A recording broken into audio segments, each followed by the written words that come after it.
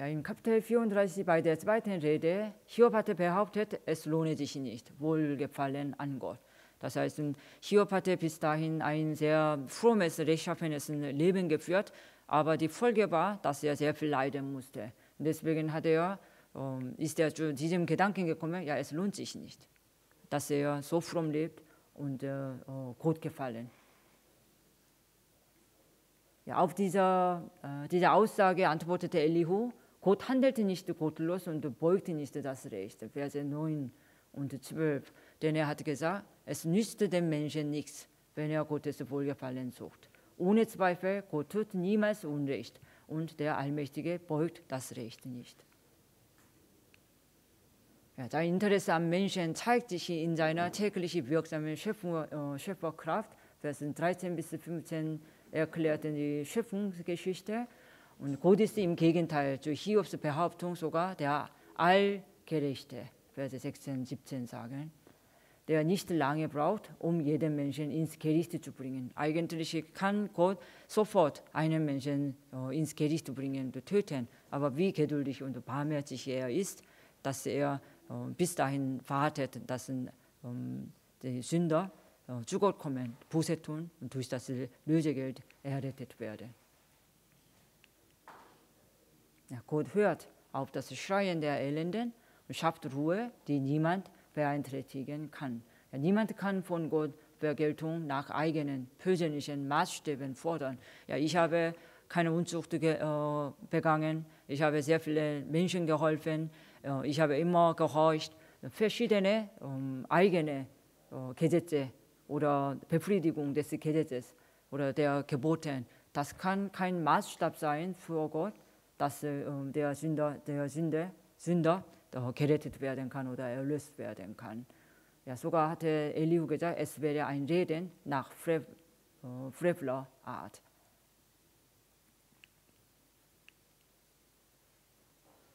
Ja, von Kapitel 34, Vers, ähm, Vers 12 habe ich also den Leitvers ausgewählt. Wir möchten Sie den äh, Vers 12 zusammenlesen. Bitte. Ohne Zweifel, Gott tut niemals Unrecht und der Allmächtige beugt das Recht nicht. Ja, Hiob wurde ein Kläger und machte Gott zum Angeklagten und appellierte an Ungerechtigkeit, aber Gott tut kein Unrecht. Er ist gerecht und er hat die Qualifikation, Fähigkeit, die Welt mit Vergeltung zu regieren. Ja, wenn Gott die Vergeltung ausübt, werden die Mächtigen deshalb gerichtet, wie wir im Buch Daniel gesehen hatten, weil sie das Volk unterdrückt haben. Aber selbst wenn er sie nicht gerichtet hat, hat niemand das Recht zu sagen, dass Gott Unrecht hat. Ja, daher ist Hiobs Behauptung, Gott sei ungerecht, äh, absurd. Ja, in der dritten Rede äh, von Elihu äh, hatte Hiobs behauptete Gerechtigkeit aus einem neuen Blickwinkel betrachtet. Ja, die Perspektive ist, welchen Wert Hiobs Gerechtigkeit für Gott hat. Er fragt zuerst, ob Hiobs Gerechtigkeit von Gott kommt. Ja, hältst du das für recht? nennst du das meine Gerechtigkeit vor Gott. Ja, die Gerechtigkeit, die Hiob beanspruchte, ist das Ergebnis der Verfolgung des moralischen Gesetzes. Ja, er hatte äh, sieben Gründe genannt, warum er gerecht sei und fromm sei. Ja, diese äh, Gerechtigkeit war eigentlich äh, daraus gekommen, als er äh, moralische Gesetze, Gesetze gehalten hatte. Elihu sagte in seiner ersten Rede, dass der Mensch Gott mit dieser Gerechtigkeit nicht zufriedenstellen könne. Es gäbe eine Gerechtigkeit durch ein Lösegeld, das Gott anerkennt und vor Gott gilt. Ja, diese Lösegeld, Gerechtigkeit wird dem Menschen von Gott gegeben. Es wird darauf hingewiesen, dass die Gerechtigkeit, die Hiob beanspruchte, nicht die Gerechtigkeit ist, die Gott wiederhergestellt hat. In der dritten Rede, Hiob äh, beklagte zuvor, dass es ihm nicht gut tun würde, das zu tun, was rechtschaffen war. Ja, Elihu weist auf seine, eine solche Behauptung hin. Welchen Schaden hat es für Gott, wenn der Mensch sündigt? Und welchen Gewinn hat er, wenn er gerecht ist? Unabhängig davon, ob Hiob gerecht war oder nicht. Das schadet Gott nicht. Ja, Gott wird durch Hiobs Sündigen nicht in seiner Existenz oder Souveränität angegriffen. Ja, Gott ist der Lenker und der Herrscher Und es erklärte den Aspekt, dass Mensch, Menschen nicht in der Lage sind, Gott zu zwingen, Gerechtigkeit zu belohnen oder Böses zu bestrafen. Das sehen wir auch in äh, Genesis 15, dass Abraham gefordert hatte, ich habe so gekämpft, ich habe geglaubt, was gibst du mir? Und ähm, äh, Gott hatte äh, ihm die Verheißung gegeben und Abraham hatte daran geglaubt, da hatte Gott ihn gerecht gesprochen. Und deswegen können die, ähm, können die Menschen Gott nicht fordern oder zwingen, um, gemäß meinem Maßstab, gemäß meiner Gerechtigkeit, gemäß meinem Gehorsam uh, etwas zu belohnen. Ja, ein Schrei, der nicht den wahren Gott um Hilfe bittet, ist vergeblich. Sie suchen Gott nicht, weil sie die Existenz Gottes nicht anerkennen und nicht glauben, dass Gott ihre Probleme lösen kann. Ja, Gott hört solche eitlen Schreie nicht und sieht solche Menschen nicht. Deshalb wird das Gericht hinausgezögert, obwohl der böse Herrscher die Menschen unterdrückt, weil die Menschen, die beten und sich auf Gott verlassen müssen, Gott nicht suchen. Ja, um, ein Beispiel ist, ist das Buch Daniel. Ja, bei der dritten Rede habe ich in den Leitvers 14 ähm, gewählt. Nun gar, wenn du sprichst, du könntest ihn nicht sehen. Der Rechtsstreit liegt ihm vor, Haare nur seiner. Die Kernbotschaft, ja, die Gerechtigkeit, die als das Ergebnis der Verfolgung des moralischen Gesetzes kann Gott nicht gefallen. Ja, die Gerechtigkeit durch das Lösegeld wird von Gott anerkannt. Es gäbe eine Gerechtigkeit durch ein Lösegeld, das Gott anerkennt unseren eigenen äh, Mangel an Gerechtigkeit inmitten des Leidens zu erkennen, ist wichtig und den, seinen Ratschluss nicht töricht zu kritisieren. Inmitten des Leidens äh, können wir nach Gott suchen und seinen Willen suchen. Ja, bei der vierten Rede ähm, hatte Elihu gesagt, dass er von weit seine Rechtfertigung äh, kommt auf der Seite Gottes von weit bedeutet, sein Wissen äh, kommt von Gott. Die Quelle der Gerechtigkeit ist Gott. Ja, Gottes züchtigendes Handeln hatte immer ein gutes Ziel. Ja, gemäß Kapitel 56, 36, 5 bis 11, ähm, Umkehr zu ihm und Gott züchtigt auch die Gerechten. Ja, Elihu betreibt äh, nicht die vernichtende Ursachenforschung, warum er leidet, sondern wozu. Ja, Gottes Ratschluss inmitten des Leidens ähm, sollte ähm, Hiob wahrhaftig erkennen, indem er die äh, Warnung ähm, zuhören und sein Ohr dafür öffnen. Ja, das ist ein wesentlicher Fortschritt im Nachdenken über eigenes Leid. Ja, wenn wir die Leiden oder Schmerzen oder Verfolgung oder äh, Verleumdung erfahren, Dabei können wir kennenlernen, was der Ratschluss Gottes ist.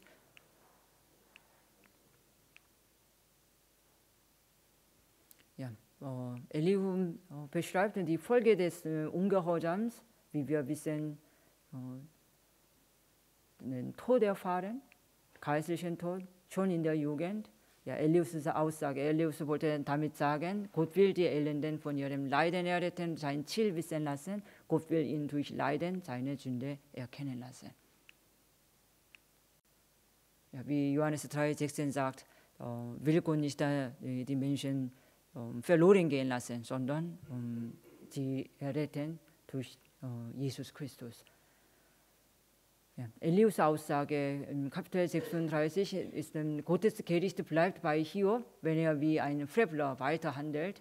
Hiob leidet, dennoch gehorcht er nicht und tut keine Buße nach der Aussage von Elihu.